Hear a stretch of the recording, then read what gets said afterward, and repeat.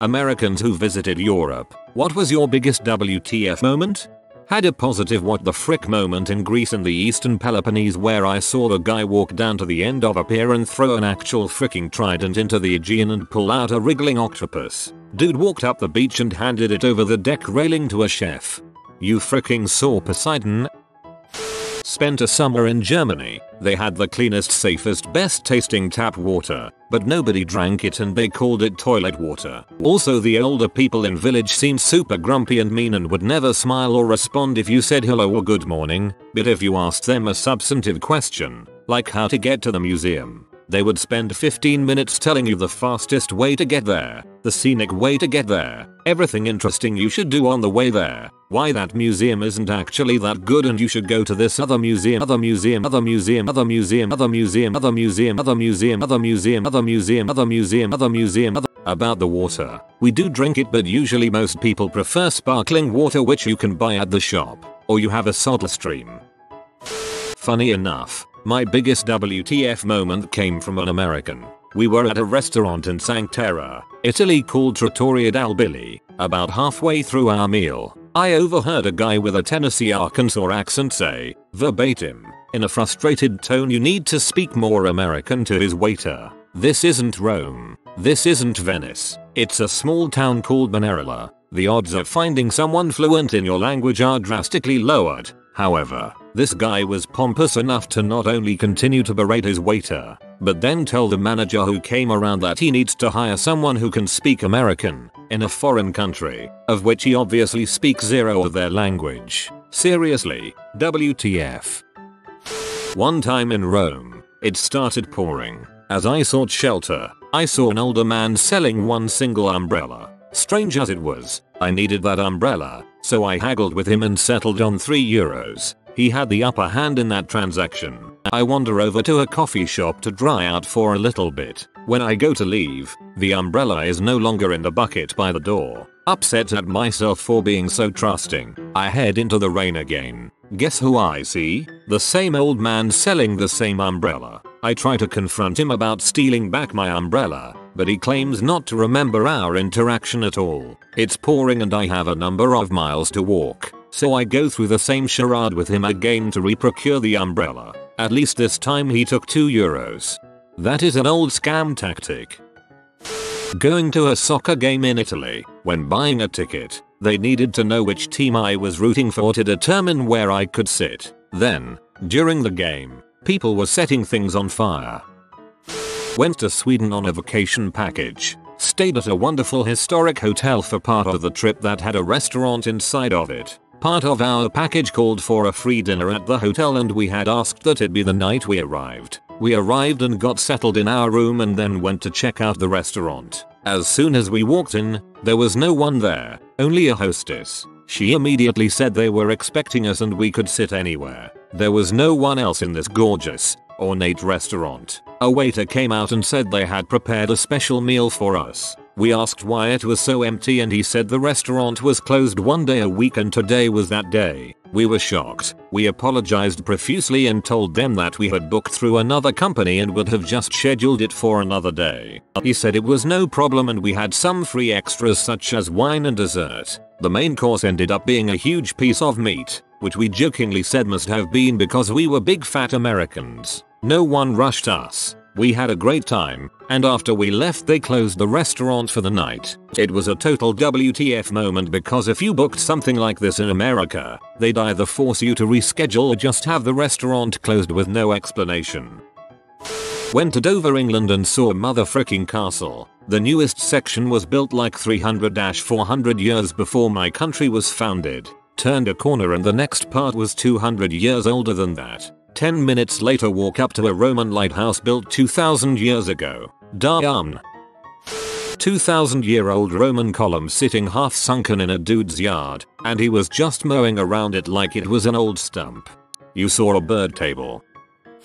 We were driving through Spain, and to the side of one of the roads, we noticed these massive bird nests in the high power electrical towers. They were at least twice the size of eagle's nests that I had seen, and there were so many of them. Then we saw these giant birds in them. We stopped by the side of the road and tried to take some pictures. Didn't have a great zoom lens, sadly, but no one else was stopping. It was so odd. We are accustomed to at least a few people stopping to watch the osprey, eagles, or other birds where I'm from. So a few days later, we are chatting with a German tourist, and we bring up the birds. I think she thought we were joking until we pulled out the pictures. Then she started laughing. Storks? Those are storks. Of course, don't you know that? They are everywhere and such a nuisance. Don't you have storks in America? Well, no. Then she looked confused. Well, if you don't have storks, who brings the babies in kids stories? Storks? Um, how does that work? And that was when we realized that the story of the storks makes a whole lot more sense when storks are nesting on every chimney, tree, or tall place. When I visited Prague and water cost 2 crowns and beer cost 1. My uncle went to the Philippines and a double whiskey and coke cost less than a single, because whiskey is cheaper than coke. Every meal in Paris taking 3 hours. I loved the culture and I'm all about eating a relaxing meal, but sometimes it was just like WTF when we were on a schedule and had to meet up with a tour group or had reservations for something. Try getting your bill when you're in a hurry. Impossible. Feeling proud of myself for eating late, like a local, at 2100 hours in Lisbon only to walk into a empty restaurant. By the time I'd finished eating at 2200 hours the place was full. That's only southern Europe, though. Here in Germany it's more like 1820.00. A normal, not bar or snack fast food like restaurant will likely close at 2223.00 and close the kitchen about an hour or so earlier. I was in Scotland this summer and in Edinburgh I asked someone for directions. They told me just go past the Tron in a very thick accent. I though she was saying train except while walking to the train I saw earlier I noticed a bar called the Tron. In UK, we navigate by pubs. My American friends who visited the Netherlands, completely surprised by our bicycle things. So many bicycles everywhere. B everybody riding without a helmet. C. So many different bicycles. While in Amsterdam two years ago, saw a woman with two kids and the wheelbarrow contraption at the front of her bike, and a baby strapped to her seat behind her, not a helmet in sight. If she tried that in Toronto, city councillors' heads would explode en masse. I was a military brat living in Belgium when I saw a commercial on AFN, Armed Forces Network, that gave new arrivals to Europe a quick rundown of things. The one thing I learned and that has stuck with me is, no right turn on red. For me it was a lack of insects in England. Not that they don't exist but I'm from Michigan with lots of swampy land around me. When I showed up at my dorm and saw there was no screen on my window I was just thinking about all of the bugs that are gonna get in my room. I got one fly the entire month stay there. Yeah if you leave your window open at night with the lights on you might get a couple of moths and the occasional spider, but we're really lucky with our relative lack of biting insects and flies. It was subtle at first, but it eventually boggled my mind how old everything was and it was still integrated into everyday life. Like in the UK, drinking in pub that had been in the same spot since the 11th century, or eating dinner at restaurant in an 18th cathedral, or in Prague going to club in a 14th century stone cellar or staying a hotel brewery that had been operating since the 15th century. The oldest building in my vicinity is from the 1750s, which is prehistoric by US standards. But, like, someone in Europe sees a building that is half a millennia old that no one is using and they're like, let's turn this into a disco. I loved it. I live in England and the village near me has a pub from the early 1700s that's seen as modern because the village itself and the surrounding buildings and other pub is from the pre-Domesday Book era, 1086. I forget sometimes just how old this country is. I lived in Germany for 8 years from 1992 to 2000, ages 4-12. I didn't realize it until I moved back to the states but there were recycling bins on every street corner. It wasn't just a green bin then a trash can, it was a giant blue bin. One section for green glass, one for brown glass, one for clear glass, one for plastic, and one for paper. Oh and going to a German school, students took public transit. There wasn't such a thing as a school bus. Beer tap in the uni cafeteria. Drinking one beer with your lunch from time to time is not considered special at all in Germany. Drinking two beers every day for lunch makes you an alcoholic. How easy and unencumbered by useless bulls most things are. Getting on a 5.30 train from Brussels to Berlin, show up at 5.20, and get laughed at by the Germans who will finish their beer at exactly 5.28 because they know the walk from the bar to the platform is 1 minute and 57 seconds. In the states that would require showing up at 3.15 because of at least 4 security checkpoints and 8 lines of people who can't figure out how an escalator works. At a lake retreat in Germany, kids playing in around the lake naked.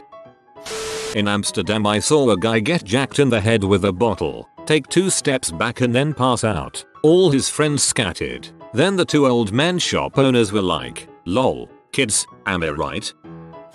I am from the NYNJ area and have seen firsthand how out of control sporting events can get. Guys, mostly, getting drunk, vandalizing property, throwing cans and bottles, fighting, etc. So when a group of friends went to Germany for Oktoberfest some years ago, we also wanted to see a football, soccer, game. So we got tickets to see Bayern Munich versus some other German team in what, I think, was a meaningful game. We went more for the experience versus being huge fans. Game is great. I think the score was 5-1, so lots of action. The energy in the stadium was undeniable. Fans singing, jumping around, yelling for the entire game. Game ends. Munich wins. Begin the march to the subway station. Virtually an entire stadium, it seemed, exited to go to this one nearest subway stop. There are four, maybe five cops standing at the entrance steps. Oh,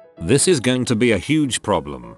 Thousands of people, lots of them intoxicated, heading toward these five cops at this one exit. It's going to be a disaster. Some guys start pee on a fence within their view. What are they doing? And then, as we watched nervously, the crowd reached the cops and just stopped. Everyone stopped. No one fought. The guys pee finished up their business, zipped up and joined the queue. Cops let enough people by to fill the first train. Then the rest stopped, and so on and so forth until our group went. It was incredible. That scene couldn't happen in America. Maybe this was an anomaly, but picturing an event at MSG, there's an army of state troopers to keep order, in addition to local cops, undercover cops, event security, etc. And brawls and things still erupt with regularity. This was amazing to us. We still talk about it years later. That was some respectful, organized and orderly crap.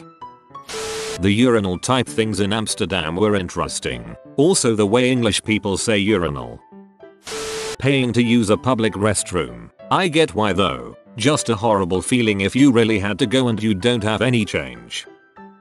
Every night in Spain, around 3am, this massive fleet of street scrubbers, vacuum mobiles, and water hoses appeared and cleaned the entire city for about an hour. It was like 100 people every night just cleaning the city. The following morning, all of Salamanca was spotless. That crap was magical. Salamanca is beautiful. This is the best bratwurst I've ever had, and this is an airport.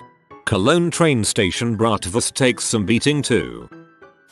1. I went to the Netherlands for a music festival over the summer last year. The night before I went to a show and met a Scottish guy who came over and said, you look American. I replied yes and he immediately started talking about American politics and the military. It was weird how he assumed I was completely knowledgeable about all upper level government doings, but otherwise was a chill dude. 2. The fact that there's no AC. I didn't realize it wasn't standard and was melting in my hotel room. 3. How uncommon asking for ice is. I've never gotten stranger looks when I would ask for a drink with some ice. One person at the festival had to confirm she understood me lol.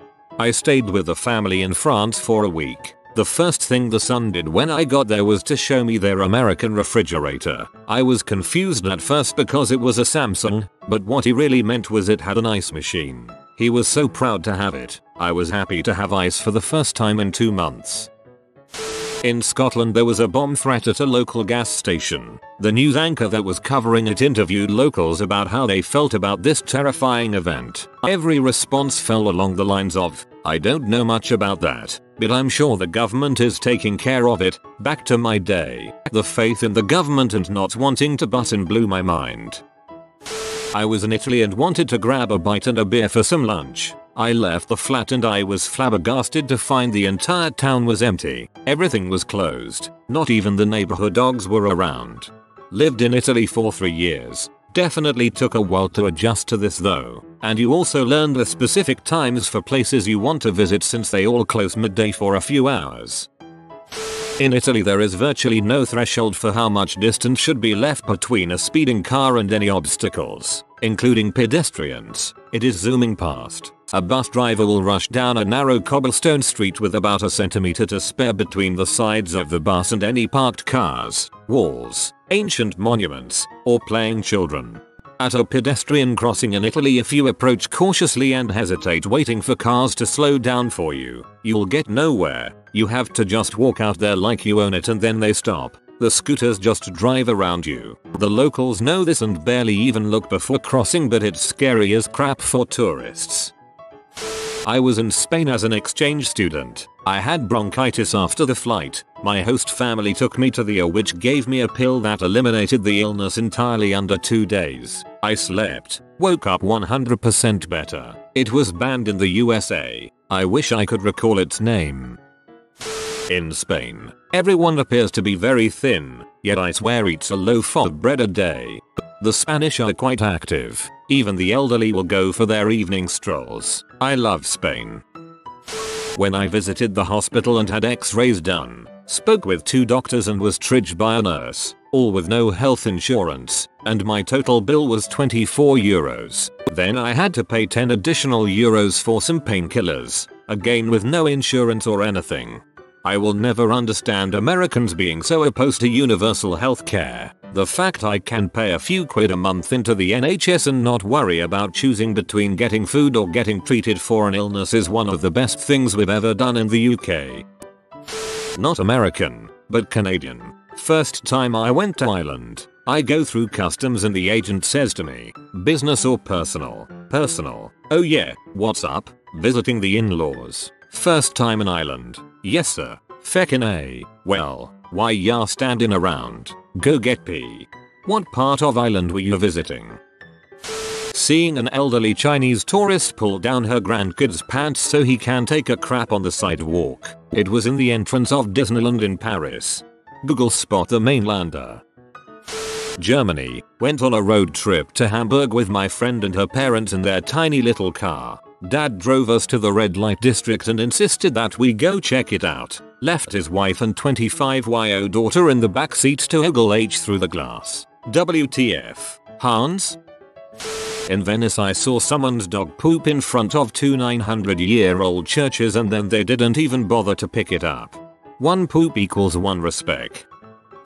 Went to Spain, they weren't speaking Spanish. I learned that Catalan existed, this was years ago and Galician and Basque, so four proper languages, including Castellano Spanish, and a lot of dialects on top.